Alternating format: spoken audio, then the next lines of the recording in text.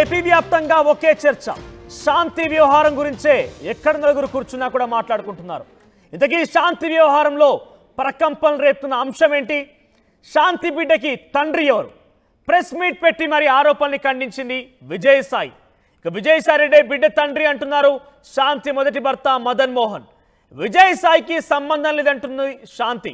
ఇక వరుసగా ప్రెస్ మీట్లు పెట్టి మొదటగా మదన్ మోహన్ ఏమో విజయ్ సాయియే శాంతి బిడ్డకి తండ్రి అన్నట్టుగా ఆయన చెప్పడం జరిగింది.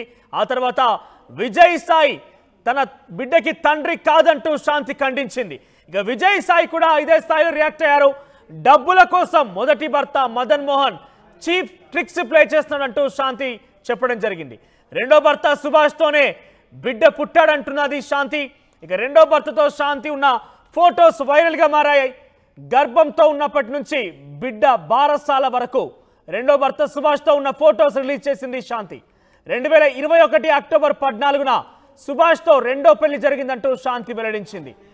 సో మొత్తం మీద రెండో భర్త సుభాష్తో కడుపులో ఉన్నప్పటి నుంచి బిడ్డ బారసాల వరకు కూడా ప్రతి ఫోటోను కూడా శాంతి రిలీజ్ చేసింది. ఇప్పుడు ఎక్కడ నలుగురు కూర్చున్నా ఏపీ రాజకీయాల్లో ఇదే చర్చ మొదలైంది. శాంతి బిడ్డకు తండ్రి ఎవరు?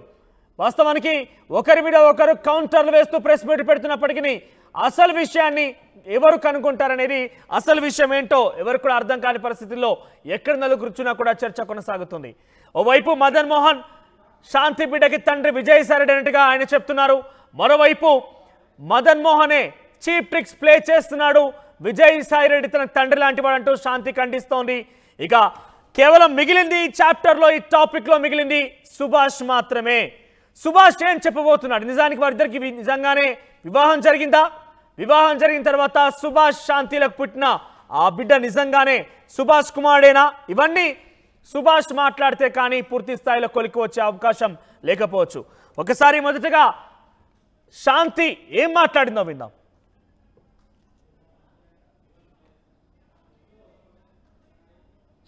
అదే వేరే కులం వాళ్ళని చెప్ప అనగలరా? ఒక ట్రైబ్ అమ్మాయి నేను ఉద్యోగం చేయకూడదా? నేను మంచి బట్టలు వేసుకోకూడదా? నేను నగలు వేసుకోకూడదా? నేను సంపాదించకూడదా? నేను కష్టపడి అడ్వకేట్ ప్రాక్టీస్ చేశానండి. నేను ఎవరి దగ్గర ఒక సొమ్ము లాక్కోలే. నాకు చేతనైతే ఒక పది మందికి ఉద్యోగం కోసం నా నా నా దగ్గర తెలిసిన వాళ్ళని ఎంతో మందిని అడిగాను నేను. ఇప్పుడు ఇంకా సాయిరెడ్డి సార్ గురించి వస్తే మీకు చెప్పాల్సిన వెరీ ఇంపార్టెంట్ ఆయన ఒక respected person Vijayasai Reddy sir నేను ఫస్ట్ టైం విశాఖపట్నంలోనే చూసిన ఆయన్ని. నాకు చిన్నప్పటి నుంచి ఒక సర్పంచ్ కూడా తెలీదు. మా రాయలసీమలో నాది నేను నంద్యాల. మా రాయలసీమలో ఆడపిల్లలు దేనికి బయటికి పోయి ఊర్లు తిరిగేది? లేకుంటే ఎంఆర్ఓ ఆఫీస్లకు తిరిగేది నాకు తెలీదు. నేను ఎన్నడూ ఒక సర్పంచ్ని కూడా చూడలేదు. నేను పుట్టి పెరిగినప్పటి నుంచి. ఒక్కసారిగా ఒక ఎంపీ గారు నాకు పరిచయం అయ్యేసరికి అబ్బా ఇలా ఉంటుంది. ఒక ఒక ఉద్యోగము అంటే చాలా చామింగ్గా చేసేదాన్ని. చాలా ఛాలెంజింగ్గా చేశాను నేను. ఫస్ట్ ఫస్ట్ పోస్టింగ్ కదా ఎగురు ఎగిరి ఎగిరి చేసినాం మేము. సో నేను సార్తో ప్రేమ సమాజం అనే ఒక ఇన్స్టిట్యూషన్ ఉంది. అది ఎండోమెంట్ డిపార్ట్మెంట్లో పబ్లికేషన్ అయి ఉంది సెక్ సెక్షన్ సిక్స్ సి అంటే ఒక అసిస్టెంట్ కమిషనర్ కంట్రోల్లో ఉన్న ఇన్స్టిట్యూషన్ అది. ఆ సమాజంకి ముప్పై ఎకరాల ల్యాండ్ ఉంది. ఆ ల్యాండ్ అంతా కూడా బీ బీ బీచ్ రోడ్లో ఉంటుంది. అందులో సాయి ప్రియ రిసార్ట్స్ అని ఉంది. ఆ రిసార్ట్స్ వాళ్ళు ముప్పై సం- ముప్పై ఎకరాల భూమిని వాళ్ళొక్కరే ఎంజాయ్ చేస్తూ చాలా తక్కువ అమౌంట్ అమౌంట్ నాకు గుర్తులేదు. అప్ టు ఫైవ్ ల్యాక్స్ లోపే ఉంది. చాలా తక్కువ అమౌంట్ని వాళ్ళు పే చేస్తూ ఉన్నారు. అది నా దృష్టికి వచ్చింది. సార్ ద్వారా. సరే అనేసి నేను ఇన్స్పెక్షన్కి వెళ్ళాను అప్పటికే అప్పటికే నాకంటే ముందు ఒక పది మంది ఆఫీసర్స్ చూసింటారు అలాంటి. కానీ ఎవ్వరు ఎవిక్షన్ చేయించలేదు. నేను పోయినాను. సాయి ప్రియ సార్ వాళ్ళతో మాట్లాడాము. సార్ అన్నారు మా మేము ఇది వాడుకుంటున్నాం. మిగిలినంతా కూడా ఖాళీగా ఉందన్నారు. Then I said that sir మీరు అలా ఉన్నప్పుడు మరి మా భూమి మాకు ఇచ్చేయండి. మాకు అప్ప చెప్పండి ఆ ప్రేమ సమాజం వాళ్ళు వేరే వాళ్ళకి వేరే వాళ్ళకి అయినా లీజ్కి ఇచ్చుకుంటారు వాళ్ళొక రూపాయి బెనిఫిట్ పొందుతారు అన్నారు మరి మా రెండున్నర ఎకరాల్లో వాళ్ళు ఆల్రెడీ అప్పటికే వన్ ఫోర్త్ బిల్డింగ్ వాళ్ళ కళ్యాణ మండపం కట్టుకున్నారు. త్రీ ఫోర్త్ బిల్డింగ్ మన ఎండోమెంట్ డిపార్ట్మెంట్ ల్యాండ్ వాడుతూ ఉన్నారు. సో దట్ ఆ త్రీ ఫోర్త్ బిల్డింగ్కి కూడా నేను చాలా అమౌంట్ నన్నే అడిగారు. ఎంత లీజ్ అమౌంట్ అని? నేను రిజిస్ట్రేషన్ డిపార్ట్మెంట్కి అప్లై చేసి అప్పుడున్న మార్కెట్ వాల్యూ ఎంత ఉందో ఇరవై రెండు ఇరవై రెండున్నర లక్ష అమౌంట్ ఐదు లక్షల లోపల అమౌంట్ కంటే ఇరవై ఇరవై రెండున్నర లక్ష అమౌంట్ని ఒక్కసారిగా వాళ్ళకి లీజ్కి పెంచేసి అప్పుడున్న కమిషనర్ గారు అర్జున్ రావు గారు ఇచ్చారు. ఇక్కడ నేను ఎవరి ల్యాండ్ తీసుకొని వచ్చాను? ఎండమెంట్ భూమిగా తెచ్చాను? ఎవరికి ఇచ్చాను? ప్రేమ సమాజంకేగా తెచ్చాను? ఇది నాకు సార్తో ఉన్న పరిచయం. దాని తర్వాత ప్రతి డిస్టిక్లో కూడా ట్రస్ట్ బోర్డ్స్ ఉంటాయి. ఎండోమెంట్లో ఏమేమి జరుగుతుందో మీకు కూడా తెలియాలి కాబట్టి చెప్తున్నాను. ట్రస్ట్ బోర్డ్స్ కూడా ప్రతి ఒక్క జురిజిక్షన్లో ఎమ్మెల్యేలు కానీ సర్పంచ్లు కానీ లేకుండా అక్కడ ఉన్న హానరబుల్ రెస్పెక్టెడ్ పీపుల్స్ ఎవరైనా సరే చెప్తే వాళ్ళు ఒక లిస్ట్ ఇస్తారు. ఆ లిస్ట్లో కమిషనర్ అల్టిమేట్ అథారిటీ ఉంటుంది. ఆ అల్టిమేట్ అథారిటీ కోసం సార్ వాళ్ళు కూడా మాకమ్మ ఇవన్నీ కూడా ట్రస్ట్ బోర్డులు ఎన్ని ఉన్నాయో అడగండు ఆ విధంగా డిపార్ట్మెంటల్ ఇష్యూసే మాట్లాడినాం సార్తో. నేను ఎక్కడ కూడా నా పర్సనల్ ఇష్యూ ఒక్కటి కూడా చేయించుకోలేదు. ఎవరైనా ఉంటే కూడా అలాంటి ఉన్నా మీరు నాకు అడగండి నేను చెప్తాను ఈ విధంగా పరిచయమైన వ్యక్తి ఆయన వయసు ఏంది? నా వయసు ఇప్పుడు ముప్పై ఐదేళ్ళు ఆయన వయసు అరవై అరవై ఎనిమిది ఏళ్ళు ఎట్లా ఇది? ఎట్లా మాట్లాడతారు మీరు? అంటే ఏ ఆఫీసరు ఏ ఎమ్మెల్యేతో మాట్లాడొద్దా? ఏ మినిస్టర్తో మాట్లాడద్దా? ఏ ఆఫీసర్లు మాట్లాడద్దా? ఇప్పుడు నేను మీతో మాట్లాడుతున్నాను. ఇంత మాత్రాన్ని మీకు నాకు ఏమైనా రిలేషన్ ఉన్నట్ట ఒక ఆడపిల్ల మాట్లాడకూడదా? అంత పెద్ద అయినంత మీరు మాట్లాడేటప్పుడు కనీసం నన్ను నేను ఇక్కడే ఉన్నానుగా. సస్పెన్షన్ పీరియడ్లో ఊరు దాటకూడదని నాకు ఇచ్చారు ఆర్డరు. ఆ మూమెంట్లో మీరు నన్ను అడిగి ఉండొచ్చుగా? నా దగ్గర నా నెంబర్ ఎవరి దగ్గర నుంచైనా తీసుకొని ఉండొచ్చు మీరు. నిర్వహణలో భాగంగా వీళ్ళందరూ కూడా కలవడం జరుగుతుంది. కలిసి కలిస్తే తప్ప కలిస్తేనే సంబంధం అంటగట్టేస్తారా? తారతమ్యాలు అనేటటువంటివి లేవా? వయసు అన్నటువంటిది తెలీదా? సహాయం కోసం ఒకటి రెండు సార్లు నా కార్యాలయానికి వస్తే చాలామంది వచ్చారు మీలో కూడా చాలామంది వచ్చారు. జర్నలిస్టులు కూడా ప్లాట్లు అడిగారు. నేను చేయగలిగిందంతా నేను చేశాను విశాఖపట్నంలో ముఖ్యంగా. ఏ? అప్పుడు జర్నలిస్టులకు తెలీదా? ఒక రాజకీయ నాయకుడిని ఈ రకంగా ద్వారా లబ్ధి పొందకూడదు. ఒకవేళ జర్నలిస్ట్ మీరే జర్నలిస్టులు. జర్నలిస్టులు మీకు ప్లాట్ లేదని అలాట్ చేసి ఉంటే ఆ మీకు అలాట్ చేసినటువంటి వాళ్ళల్లో ఎవరైనా మహిళలు ఉంటే వాళ్ళకి నాకు సంబంధం అంట కట్టేస్తారా? ఏమైనా బుద్ధుండి ఏదన్నా బుద్ధుండి ఇటువంటి ప్రసారాలు చేస్తారా అని నేను ప్రశ్నిస్తా ఉన్నా.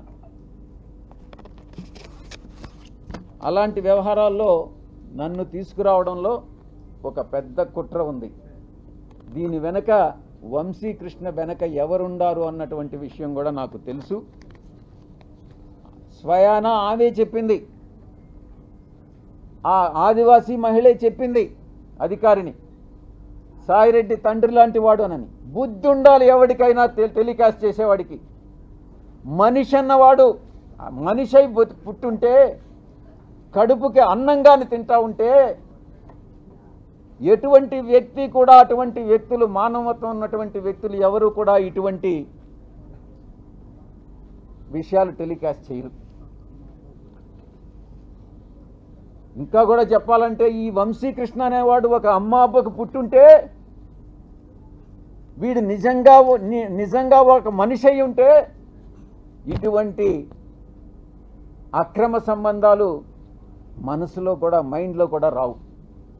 వీడు మనిషే కాదు అన్నటువంటి విషయాన్ని నేను చెప్తా ఉన్నా. సాధారణంగా ఇలాంటి కంప్లైంట్స్ వస్తే ఏ పోలీస్ స్టేషన్కో పోతారు. సర్ప్రైజింగ్గా ఈ కంప్లైనెంట్ ఎవరో ఒక కాన్ఫిడెన్షియల్ లెటరు ఎండోమెంట్ కమిషనర్కి ఇచ్చాయట. ఆ బుద్ధి లేని ఎండోమెంట్ కమిషనరు దాన్ని ఎందుకు లీక్ చేశాడో నాకైతే అర్థం కాలే. కాన్ఫిడెన్షియల్గా ఎంక్వైరీ చేయాల్సినటువంటి ఒక అధికారి దాన్ని మీడియాకి ఎలా ఇస్తాడు? అధికారికి బుద్ధి లేదు. తీసుకునేటటువంటి మీడియాకి ఎలా బుద్ధి లేదని నేను ప్రశ్నిస్తా ఉన్నా.